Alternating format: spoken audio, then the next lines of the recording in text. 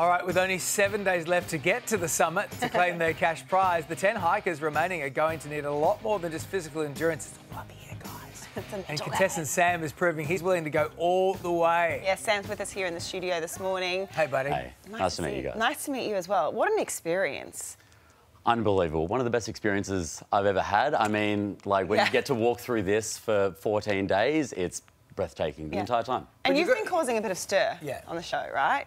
Mm. Do you think you would have made it if you didn't get immunity? Do you think it saved you immunity this week? Oh, I never would have actually expected that small comment to have changed everyone's mindset so much. It's really interesting being able to see it back now and see everyone's reaction and So how just they what is spun- that comment for those who haven't seen the show? The three most capable. Um, um and when I said that, it was in a frenzy. We had been told time and time again how slow we've been going, how far behind we are at this point.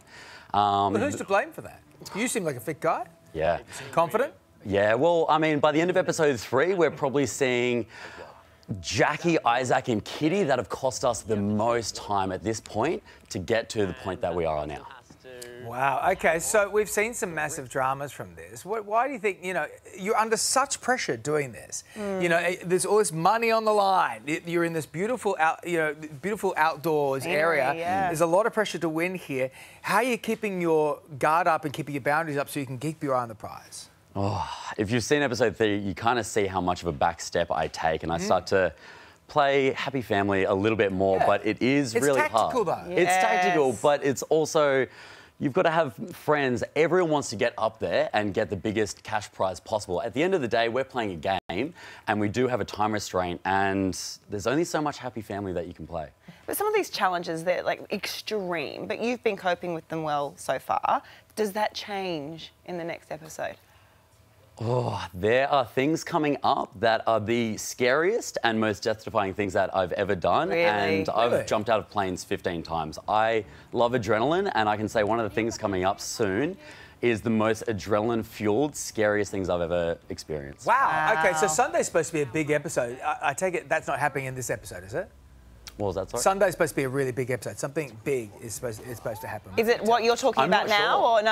I, I'm not sure because, yeah, so far, like by episode three, we're already about six nights in. Ah. I mean, have, did you enjoy your? I mean, you're here now. Did you enjoy your time on it? Would you do it again? I'm not. Without question. It was Really? one of the most amazing, beautiful experiences. Like, how could you ever even ask to go and do what we got to do every single day with new obstacles in front of us every day, climbing some of the most beautiful lands this world has? Are you And what about friends? Yeah, are you still friends with? Did you make any friends or? Everyone. We all have a beautiful group chat. We are all laughing at each other, making little memes about each other. It's a really nice experience. Oh, that's awesome to Yeah. hear. Well, it's, it's a great show. The families love watching it too at home as well. Thanks Yes. for being here, Sam. Thank you so much, guys. All right, the summit, something big's going to happen Sunday night, 7 o'clock, or you can catch up on all the episodes right now on 9 That was a deep tease. Oh, yes. Hey there, Today fans. Sarah and What's oh my name again? Karl. Hey, thanks for watching our YouTube channel, though. Subscribe now for more news, special reports, and amazing Aussie stories. And Karl misbehaving, Whoa, of course. that never happens. always happens. What's she talking about?